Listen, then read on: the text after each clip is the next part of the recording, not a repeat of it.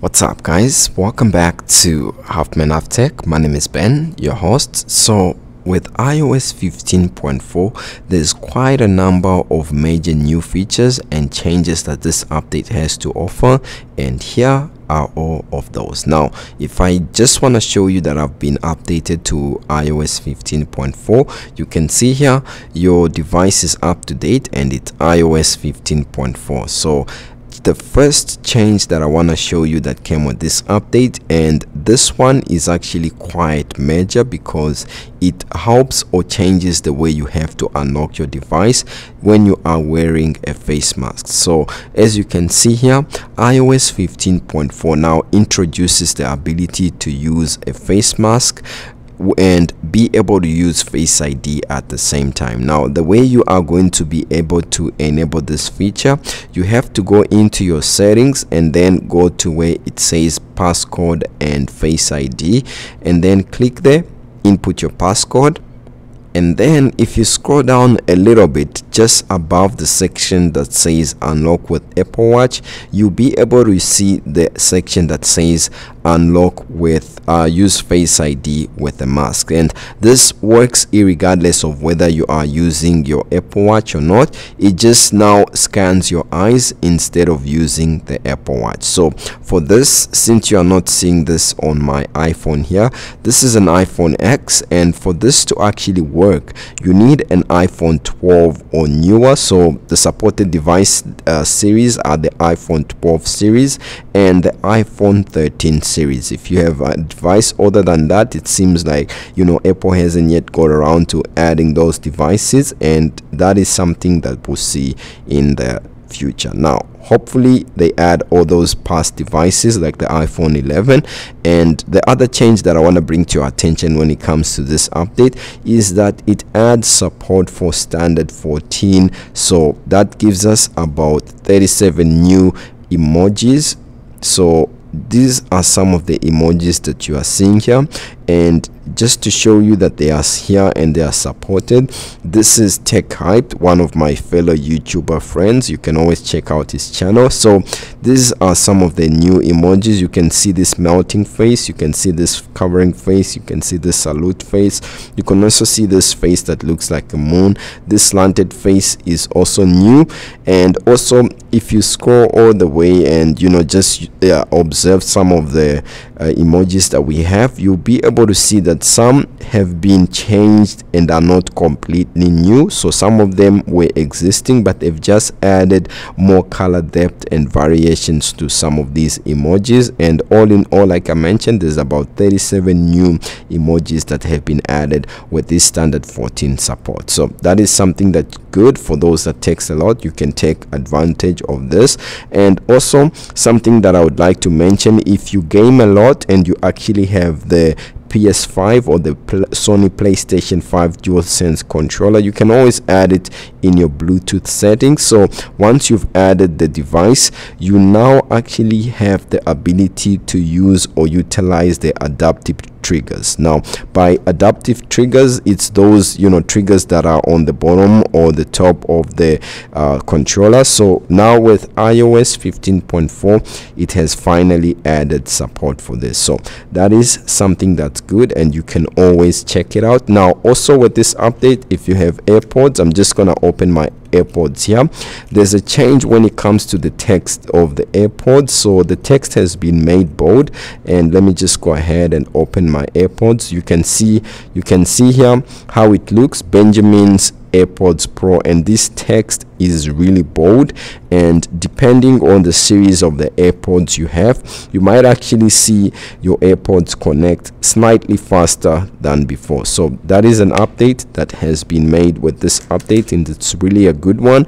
Also with iOS 15.4 if you use the health app quite a lot and you are in a region that's slowly adding vaccine records in the health so they are moving to the smart health system. You'll be able to see your vaccination records and medical records within the health app but for now it seems like it's still up in the air for which regions are supported and which ones are expected to be added so keep an eye on it and you'll be able to see this in the future if your region is added. Now also if you go into settings and you go to your iCloud, you'll be able to see that you know there's a, a keychain section there, and if you have a bunch of passwords that you select, so you see that iCloud keychain keeps information like your Safari username and password. So with iOS 15.4, it actually adds the ability to be able to add notes. It could be notes that are giving you a hint about your passwords and so on. So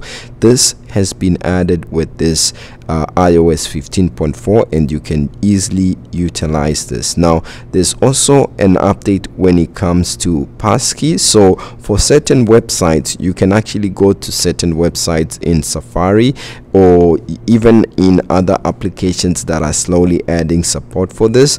And it can be on your Apple Watch it can be on your iPhone or on your Mac. And the way you'll be able to sign in to different applications that require authentication you might be able to sign in with your iphone by means of face id for those that have programmed and added support for this. So basically it just makes it easier for you. Now, since alongside this ios 15.4 update apple is releasing iPadOS 15.4 I'll be happy to let you know that if you're waiting for universal control that feature has now been added to iPadOS 15.4 and the latest macOS update so you can easily use the same peripheral devices to be able to connect those devices together. So you can use a mouse to go from your iPad to your Mac and the other way around. So that is something that's good. And also if you have a new iPhone 13s that have the ProMotion display the 120 hertz refresh rate.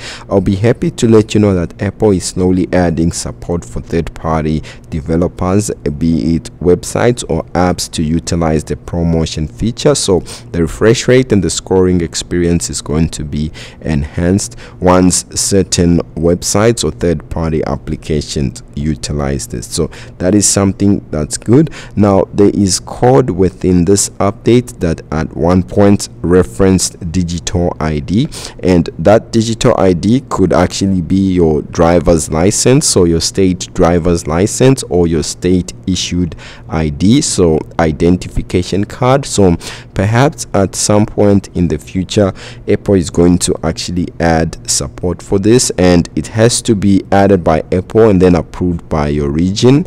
And if it's going to look something like this. So it's going to show your driver's license and the Apple Watch.